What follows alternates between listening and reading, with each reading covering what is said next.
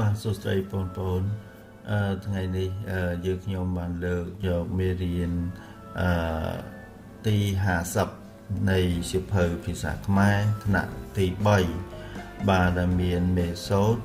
អឺសមិទ្ធផលថ្មីថ្មីបាទអញ្ចឹងបងប្អូនអឺស្ដាប់នៅមេសូតខាងក្រោមបាទហើយបងប្អូនចូលរួមសូត្រមេសូតទាំងអស់គ្នាបាទ ឲ្យបានត្រឹមត្រូវ បាទរួចឆ្លើយនឹងសំណួរបាទអញ្ចឹងបងប្អូនស្ដាប់នៅមេសូតដែលយើងខ្ញុំបានសូត្របាទហើយបងប្អូនចូលរួមសូត្រទាំងអស់គ្នាបាទ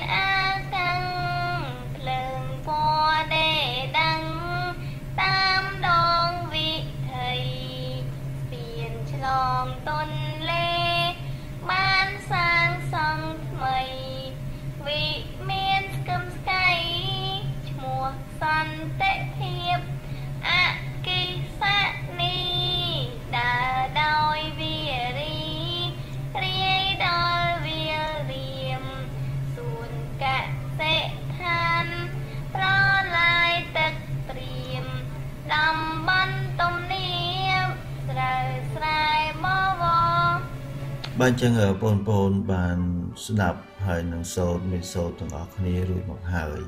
អញ្ចឹងបងប្អូនចូលមកអឺរៀនពាក្យម្ដងបាទរៀនពាក្យបាទអញ្ចឹងចំណុចកអំណានពាក្យបាទសមិទ្ធផលអានថាសមិទ្ធផលបាទសមិទ្ធផលអកិសនីអានថាអគិសនី បាទកសិដ្ឋានអានថាកសិដ្ឋានអគាអានថាអគាបាទបានចឹងបងមកមើលចំណុចខពន្យល់ពាក្យ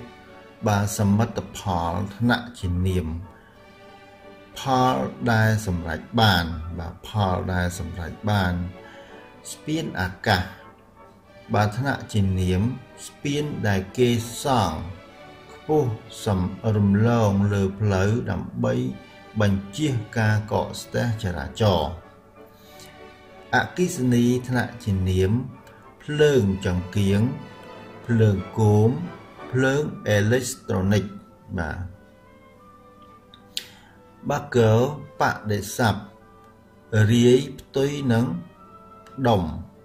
សន្តិភាពផ្ទុយនឹងសង្គ្រាមបាទបាទចំណុចងចំណុចខវេវចនស័ព្ទនិងពាក្យវារី បាទអញ្ចឹងវារីមានពាក្យវារីកង្គាទឹកបាទបាទចំណុចងសតិសស័ព្ទនិងពាក្យដាបាទបាទដាមាន2ពាក្យដាមាន2មានដដាក់ស្រៈអានិងដដាក់ស្រៈអានិងរ បាទដដាក់ស្រៈអាថ្នាក់ជានាមបន្ទះថ្មរៀបបាទធំរៀបដូចក្តារបែនទាំងថ្មដាបាទដាមួយទៀតគឺដដាក់ស្រៈអានិងរថ្នាក់ជានាមឈ្មោះបនតូចម្យ៉ាងក្នុងពុទ្ធសាសនាបណ្ដាបាទបាទបងមើលសំណួរ បាទសំណួរទី1អ្នកកសាងស្នាដៃថ្មី ក្នុងអត្ថបទនេះជាជនជាតិអ្វីបាទ2តើសមិទ្ធផលដែលគេបានកសាងមានអ្វីខ្លះបាទ3 ដើម្បីរួមចំណែកថែរក្សាការពារសមិទ្ធផលខាងលើតើប្អូនត្រូវធ្វើដូចម្តេច4តើប្អូនចង់คลายខ្លួនជាអ្នក កសាងស្នាដៃធំធំដោយខាងលើដែរឬទេព្រោះអ្វីបាទចឹងបងប្អូនឆ្លើយនឹងសំណួរឲ្យបានត្រឹមត្រូវបាទ បាទចឹងបងប្អូនមកមើលលំហាត់បាទលំហាត់របស់យើងមាន6បាទអឺទី1ចូលសូត្រមេសូត្រឡើងវិញឲ្យបានត្រឹមត្រូវបាទទី2ចូលរកបដិស័ព្ទនិងពាក្យពេញបាទនិងពាក្យពេញទី3ចូលរកវេវចនៈនិងពាក្យអកិសនីបាទអកិសនី4 ចូលរកសទិសស័ព្ទនិងពាក្យប្រៀបបាទប្រៀបបើជាងរដាក់ស្រែកអៀនិងបបាទបាទទី4ចូលរកពាក្យជួននិងពាក្យខាងក្រោមក្នុងអត្ថបទបាទវគ្គទី1បាទបរិយជួននឹងពាក្យ អីគេបាទបរិយជួននឹងពាក្យអ្វីបាទរដ្ឋាជួននឹងពាក្យអ្វីបាទអញ្ចឹងបងប្អូនពេញនៅក្នុងចន្លោះបាទជួននឹងពាក្យអីបងសរសេរមកបាទបាទលំហាត់ទី6ចូលគូសញ្ញាធិកក្នុងប្រអប់ចម្លើយមួយត្រឹមត្រូវបាទអញ្ចឹងចម្លើយមាន3បាទមេសូតខាងលើនិយាយអំពីសមិទ្ធផល ពីបរាណមេសូតខាងលើនិយាយអំពីសមិទ្ធផលបច្ចុប្បន្នមេសូតខាងលើនិយាយអំពីសមិទ្ធផលនៅពេលអនាគតបានចឹងបងប្អូនមើលនៅរបស់មើលនៅចម្លើយ3តើចម្លើយមួយណាដែលត្រឹមត្រូវបងគូតិចមកបាទបាទចឹងសំណេរ សំណេរអឺគេឲ្យយើងសរសេរតាមអាននិងត្រួតពិនិត្យអត្ថបទមេសូតខាងក្រោមបាទបាទចឹងមេសូតគឺរីស្ពានឱកាសភ្លើងពណ៌ដេដាតាមដងវិថីស្ពានឆ្លងទន្លេបានសាងសង់ថ្មីវិមានស្កឹមស្កៃឈ្មោះ សន្តិភាពអគីសនីដើរដោយវេរីរាយដល់វារៀបសួនកសិដ្ឋានប្រឡាយទឹកព្រៀបតំបន់ទំនាបស្រូវស្រែបវរបាទ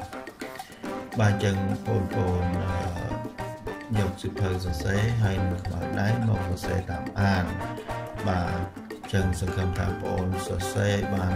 តាមត្រូវអក្ខរាវិរុទ្ធឲ្យបានតាមត្រូវបាទបានចឹងបងប្អូនមកមើលសំណួរបាទតើគេបានសាងសង់ផ្លូវអ្វីខ្លះតើគេបានសាងសង់ស្ពានអ្វីខ្លះបាទទី2តើវិមានដែលគេសាងសង់ថ្មីឈ្មោះអ្វីបាទ បានលំហាត់ចូលពន្យល់ពាក្យសមិទ្ធផលស្ពានអាកាសបាទទី2ចូលរកបដិស័ព្ទនិងពាក្យសន្តិភាពបាទទី3ចូលរកដំវេវចនៈស័ព្ទនិងពាក្យវារីទី4ចូលរកអឺសទិសស័ព្ទនិងពាក្យប្រៀបបាទ បាទចំណុចខចូលជ្រើសរើសពាក្យក្នុងប្រអប់ទៅបំពេញវគ្គមេសូតខាងក្រោមបាទអញ្ចឹងនៅក្នុងប្រអប់របស់យើងមានរៀប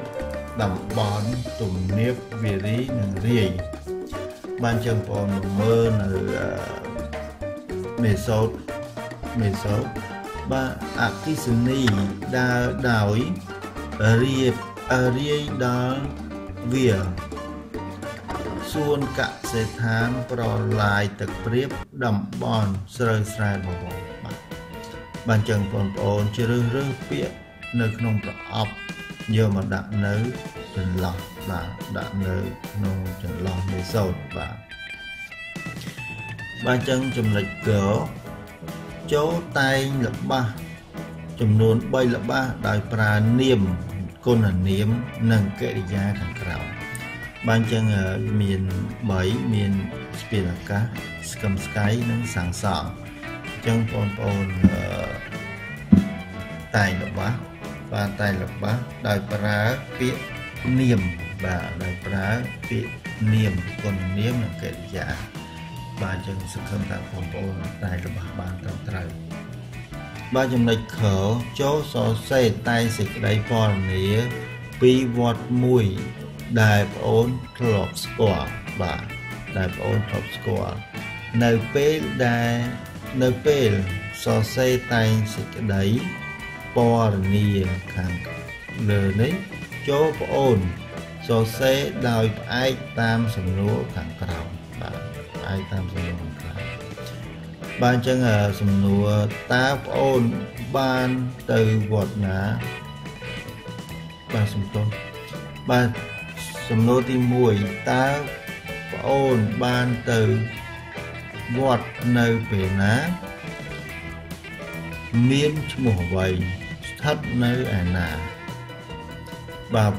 2ពេលមើលពីចម្ងាយតើប្អូនឃើញវត្តនោះមានរូបរាងដូចម្ដេច ទី3ពេលចូលទៅដល់ក្នុងវត្តតើមានទស្សនភាព